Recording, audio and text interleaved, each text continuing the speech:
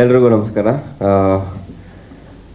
ಮೊದಲನೇದಾಗಿ ಬಂದಿರುವಂಥ ಎಲ್ರಿಗೂ ತುಂಬ ಥ್ಯಾಂಕ್ಸ್ ಆ್ಯಂಡ್ ಸುಮಾರು ದಿನ ಆದಮೇಲೆ ಒಂದು ಪ್ರೆಸ್ ಮೀಟಲ್ಲಿ ಸೇರಿದ್ದೀವಿ ನಾನು, ಅದು ಮತ್ತು ಸರೋಜಾ, ವಿನಯ್ ಒಂದು ಕತೆ ಹೇಳಿದಾಗ ತುಂಬಾ ಒಂದು ಬೇರೆ ಥರನೇ ಸಿನಿಮಾ ಆಗುತ್ತೆ ಇದು ಅನ್ನೋದೊಂದು ನಂಬಿಕೆ ಬಂತು.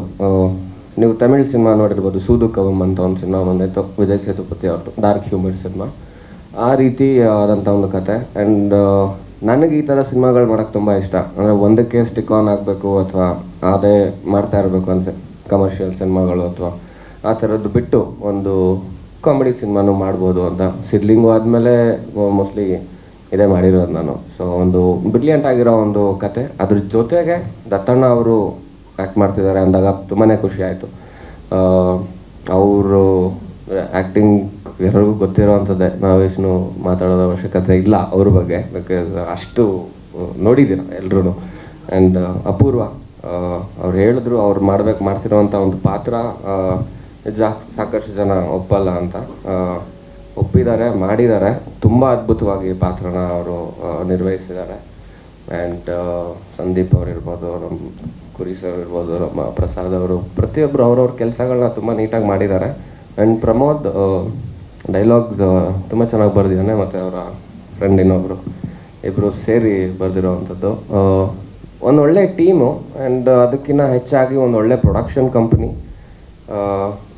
ಇನ್ನೂ ಒಳ್ಳೊಳ್ಳೆ ಸಿನಿಮಾಗಳು ಈ ಒಂದು ಪ್ರೊಡಕ್ಷನ್ ಕಂಪ್ನಿಯಿಂದ ಬರುತ್ತೆ. ವಸಂತ್ ಸರ್ ಪೂಜಾ ಮ್ಯಾಮ್ ಅಂದರೆ ಅವರು ನಾಲ್ಕು ಜನ ಅವ್ರ ಮನೆಯಲ್ಲಿ ಯಾರಿರ್ತಾರೆ ಕಂಪ್ಲೀಟ್ ಸಿನಿಮಾ ಸಿನಿಮಾ ಸಿನಿಮಾ ಅಂತಲೇ ಇದ್ದಾರೆ ಅವರು. ಆ್ಯಂಡ್ ಈ ಥರ ಪ್ರೊಡ್ಯೂಸರ್ಸ್ ಬಂದಾಗ ಇಂಡಸ್ಟ್ರಿಯಲ್ಲಿ ನಾವುಗಳು ಉಳಿಸ್ಕೋಬೇಕು ಅವ್ರನ್ನ. ಉಳಿಸ್ಕೊಂಡಾಗ ಏನಾಗುತ್ತೆ? ಇನ್ನೊಂದಷ್ಟು ಜನಕ್ಕೆ ಕೆಲಸ ಸಿಗುತ್ತೆ. ಸೊ ಈ ಸಿನಿಮಾ ಚೆನ್ನಾಗಿ ಆಗುತ್ತೆ ಆ್ಯಂಡ್ ಇನ್ನೊಂದಷ್ಟು ಜನಕ್ಕೆ ಕೆಲಸ ಸಿಗುತ್ತೆ ಅನ್ನೋ ನಂಬಿಕೆ ನನಗಿದೆ.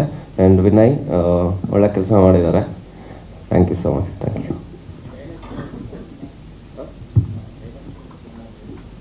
ಅಂದರೆ ಡೈಲಾಗ್ಸ್ ಅದು ಇವಾಗ ಬರ್ತಾರ. ಅಂದರೆ ಸಿಡ್ಲಿಂಗು ಟೈಮಲ್ಲಿ ಮಾಡಿದಾಗ ಶುರು ಆಯಿತು. ಅದೊಂದು ಡಬಲ್ ಮೀನಿಂಗ್ ಡೈಲಾಗ್ಗಳು ಅದು ಇದು ಅಂತ. ಈ ಸಿನಿಮಾಲಿ ಆ ಥರದ್ದು ಯಾವುದೂ ಇಲ್ಲ ಅಷ್ಟೊಂದು. ಸಮ್ ಅಂದರೆ ಆ ಒಂದು ಪರ್ಟಿಕ್ಯುಲರ್ ಟೈಮಿಂಗ್ ಏನಂತ ಏನು ಹೇಳ್ತೀವಿ ನಾವು ಕಾಮಿಡಿ ವರ್ಕೌಟ್ ಮಾಡೋದನ್ನ. ಸೊ ಆ ಥರದ್ರಲ್ಲೇ ವರ್ಕೌಟ್ ಮಾಡಿರೋದು. ಆ್ಯಂಡ್ ದತ್ತಣ್ಣ ಅವರು ತುಂಬಾ ಸ್ಟ್ರಿಕ್ಟ್ ಆಗಿದ್ರು ಆ ವಿಷಯದಲ್ಲಿ. ಯಾಕಂದರೆ ಬಿಕಾಸ್ ಅವ್ರ ಪ್ರೀವಿಯಸ್ ಸಿನಿಮಾ ರಿಲೀಸ್ ಆಗಿತ್ತು, ಅದಾದಮೇಲೆ ಅವ್ರಿಗೆ, ಅಂದರೆ ಅವರ ಒಂದು ಫ್ರೆಂಡ್ಸ್ ಬಳಗ ಏನಿದ್ರು ಈ ಥರದ್ದು ಮಾಡಬಾರ್ದು ನೀನು ಅಂತ ಆ್ಯಂಡ್ ಸೆಟ್ಟಲ್ಲಿ ಇನ್ಫ್ಯಾಕ್ಟ್ ಒಂದು ಎರಡು ಮೂರು ಸಲ ಅವರು ಬೈದಿದ್ದಾರೆ ಡೈರೆಕ್ಟ್ರಿಗೆ ಅದೇ, ಈ ಹೋಗೋ ನಾನು ಮಾಡಲ್ಲ, ಅದನ್ನೆಲ್ಲ ಆಗೋಯ್ತು ಅದು ಅಂತ. ಸೊ ಹಾಗಾಗಿ ಆ, ಥರದ್ದು ಯಾವುದೂ ಇಲ್ಲ. ತುಂಬ ನೀಟಾಗಿರುತ್ತೆ. ಅಂದರೆ ಎಲ್ಲಿ ಕೇಳಿಸ್ದವ್ರಿಗೆ ಅಂದರೆ ಕೇಳಿಸ್ಕೊಂಡವ್ರಿಗೆ ಸಹ್ಯ ಅನ್ಸಲ್ಲ ಅಥವಾ ಮುಜುಗರ ಆಗುವಂಥದ್ದು ಯಾವುದೂ ಇಲ್ಲ. ತುಂಬ ನೀಟಾಗಿ ಹೋಗುತ್ತೆ.